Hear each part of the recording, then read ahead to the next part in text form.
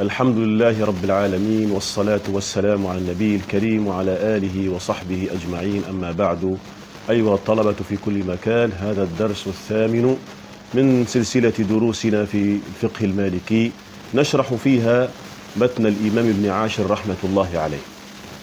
في درسنا الماضي تكلمنا وأنهينا الكلام على ما يتعلق بالوضوء ومسائله واليوم سنأخذ درسا جديدا يتعلق بنواقض الوضوء. يقول الإمام ابن عاشر رحمة الله عليه فصل نواقض الوضوء ستة عشر بول وريح سلس إذا ندر وغائط نوم ثقيل مذي سكر وإغماء جنون ودي لمس وقبلة وذا إن وجدت لذة عادة كذا إن قصدت إلطاف مرأة كذا مس الذكر. والشك في الحدث كفر من كفر. في هذه الأبيات يذكر الإمام ابن عاشر رحمة الله عليه أحداثا ناقضة للوضوء وأسباب أحداث وكذلك ما هو ليس بحدث ولا بأسباب ولا بسبب حدث. يعني يذكر في هذه الأبيات ثلاثة أقسام أحداث وأسباب أحداث وما ليس بحدث ولا سبب للحدث. بالنسبة للأحداث فهي ستة التي ذكرها في هذه الأبيات. وأما ثمانية منها ثمانية من النواقض هي أسباب أحداث واثنان منها ليست بأسباب ولا بأحداث. فقال هنا فصل نواقض الوضوء ستة عشر. فصل هو اسم يعني يشتمل على طائفة من المسائل تحت معنى واحد. وهنا نواقض الوضوء عددها ستة عشر ناقضا. أن يعني أن المسلم يعني المسلم والمسلمة المسلم والمسلمة إذا كان المسلم متوضئا والمسلمة متوضئة ثم حصل ناقض من هذه النواقض الستة عشر فيجب عليه الوضوء. فقال بول وريح سلس إذا ندر. بول هو المعتاد الذي يخرج من القبل ويجب منه الوضوء.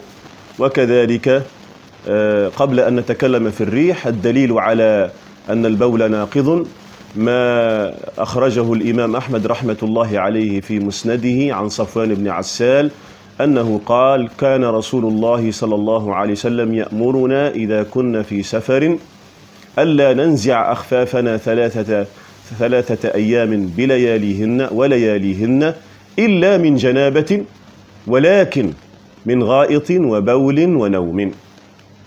يعني هنا قال من غائط وبول. الشاهد في الحديث بول أنه من نواقض الوضوء. وسيستمر معنا هذا الحديث في نواقض الوضوء التي هي أحداث. فالبول حدث وثم قال وريح والريح هو هواء يخرج من مؤخرة أي شخص أي إنسان فهذا ناقض للوضوء. ودليله من السنة قول النبي صلى الله عليه وسلم إذا فسى أحدكم فليتوضأ. ثم قال سلس إذا ندر. السلس هو استرسال في اللغة استرسال الأمر وعدم تماسكه. فالسلس يكون في البول والريح وكما سنرى إن شاء الله في المذي والودي وغيرها من نواقض الوضوء التي هي أحداث. إذا قل إذا كان هناك سلس يعني بول متتابع مثلا وقل زمنه فهذا يجب منه الوضوء. لكن إذا كان جل الوقت أو كل الوقت فلا يجب منه الوضوء بل يستحب منه الوضوء. وطبعا دليل هذا حديث فاطمة بنت أبي حبيش رضي الله عنها التي شكت إلى رسول الله صلى الله عليه وسلم استحاضة بها. فأمرها النبي صلى الله عليه وسلم بأن توضئي لكل صلاة تطهري وتوضئي لكل صلاة أو كما جاء في حديث رسول الله صلى الله عليه وسلم. ثم قال في البيت التالي وغائط نوم ثقيل مذي الغائط كذلك من الأحداث ما مر من سلس كذلك من الأحداث. والغائط هو في الحقيقة من خفض من الأرض. ولكن أصبح كناية على قضاء الحاجة الكبرى. فمنها هي ناقض من الوضوء وهي حدث ودليلها من من كلام الله عز وجل في سورة المائدة وإذا جاء أحدك وإذا جاء أحدكم من الغائط كما في قراءة قالون. آه، وإذا جاء إذا جاء أحدكم من إذا جاء أحدكم من الغائط في قراءة حفص. فإذا حدث هذا فهو ناقض يجب منه الوضوء. ثم قال نوم ثقيل. طبعا بلا قيد نوم ثقيل خفيف أو طويل. هذا ناقض للوضوء. ودليله كما مر حديث صفوان بن عسال رضي الله عنه ولكن من غائط وبول ونوم. والمقصود بالنوم هنا النوم الثقيل. النوم الثقيل سواء كان طويلا أو قصيرا ينقض الوضوء. ثم قال مذي والمذي هو ماء رقيق يخرج عند شهوة أو ملاعبة يجب منه الوضوء. ودليل ذلك حديث علي رضي الله عنه حين أرسل من يسأل النبي صلى الله عليه وسلم عن المذي فقال يغسل ذكره ويتوضأ أو كما قال عليه الصلاة والسلام. ثم قال سكر وإغماء جنون ودي السكر والإغماء والجنون قياسا على النوم الثقيل ينقض الوضوء. والسكر سواء كان بحلال أو حرام ناقض. والإغماء هو أن يغمى الإنسان أن يعني يفقد عقله بسبب صدمة أو بسبب مرض والجنون كذلك يكون بصرع وبغيره. وإلحاق السكر والإغماء والجنون بالنوم الثقيل بجامع زوال العقل. فكما أن آه، آه، في النوم الثقيل يزول العقل ويكون سببا للحدث كذلك السكر والإغماء والجنون. ثم ختم الحدث الأخير وهو ودي. والودي يخرج بسبب آه، مرض وهو ماء خاثر يخرج إثر البول. فهو كذلك ناقض قياسا على أنه خرج من نفس السبيل الذي خرج منه البول. ثم قال بعد ذلك شرح يعني شرع من قبل يتكلم عن أسباب الأحداث نوم ثقيل ثم سكر وإغماء ثم هنا وجنون ثم قال لمس وقبلة وذاء وجدت لذة عادة كذاء قصدت. فهنا اللمس آه اللمس هنا فيه ثلاث حالات ناقضة. إذا لمس الرجل امرأته قصد ووجد اللذة المعتادة. هذا ناقض. ثم قصد ولم يجد. كذلك ناقض. قصد ووجد فهذا ناقض. لكن إن لم يقصد يعني لم ينوي ولم يجد فهذا غير ناقض. وهذا كذلك يندرج تحت القبلة وإن كان جعل القبلة آه، لخصوصيتها حيث أن القبلة في الفم آه، عموما آه، تأتي بالشهوة فهي تكون ناقضة وهو سبب حدث سبب حدث. لكن إذا لم يجد ولم يقصد فلا فلا ناقضة هناك بعض جملة من فقهائنا يقولون بنقض القبلة مطلقا للوضوء. ثم قال طبعا ذكرت هذا البيت كله يتكلم عن هذه الحالات الثلاثة سواء في اللمس والقبلة. ثم قال أخيرا إلطاف مرأة كذا مس الذكر.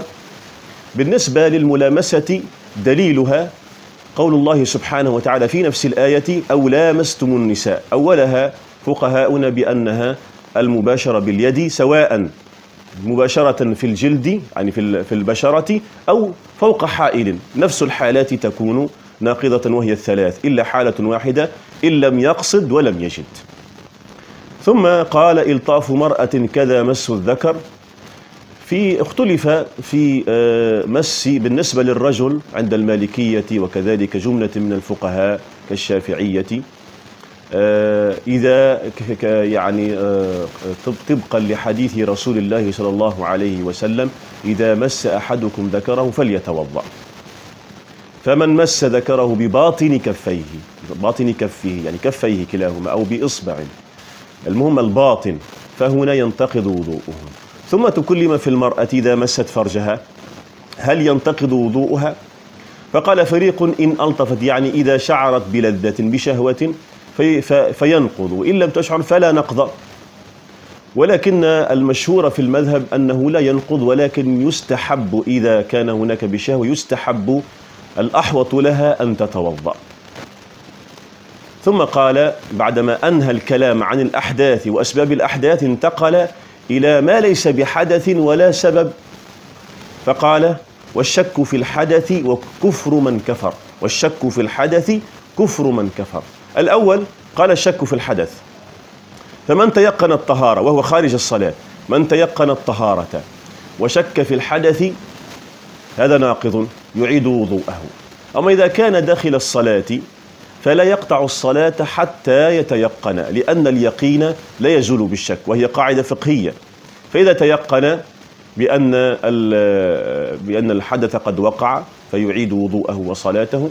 وإذا تيقن أن أنه على طهارة وأنه قد أحدث قبل أن يتوضأ فهنا لا إعادة عليه لا الوضوء ولا الصلاة. ثم أخيرا قال كفر من كفر. هذا القسم الثاني من مما ليس بحدث ولا سبب.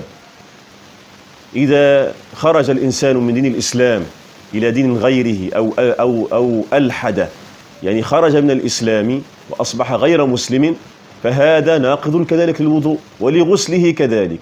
فمن عاد وتاب إلى الله عز وجل إلى الإسلام فيجب عليه الغسل والوضوء إذا أراد أن يصلي أو أن يقضي آه، صلواته. التي ربما فاتته في حال إسلامه طبعا. هكذا نكون قد انتهينا من ذكر النواقض الستة عشر. وإن شاء الله في الدرس القادم نشرع في موضوع آخر وإلى لقائنا الآخر بإذن الله تعالى والسلام عليكم ورحمة الله تعالى وبركاته.